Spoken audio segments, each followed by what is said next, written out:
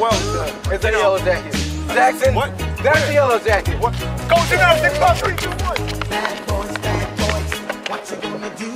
What you gonna do when they come for you? Bad boys, bad boys, Shut up. do? What you gonna do Jackson, Jackson, calm down. Ma'am, do you know what we pulled you over today? No, I don't. Sorry. I'm just super excited for Byrd. Oh, blah, blah, blah. I'd give you three weeks in jail for using language like that.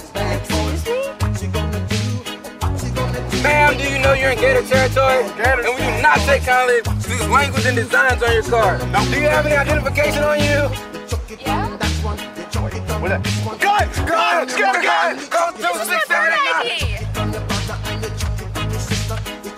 call Byrd IDs here? chuck it on me. Stupid. Come on with us.